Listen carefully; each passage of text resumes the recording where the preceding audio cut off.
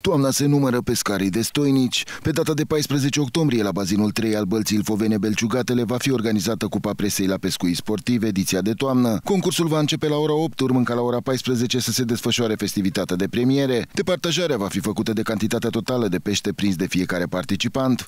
La final, concurenții vor putea degusta o ciorbă de crab și alte preparate de pește delicioase, oferite de organizatori. Înscrierile se pot face la adresa de e-mail bazin 3 belciugatele până la data de 12 octombrie.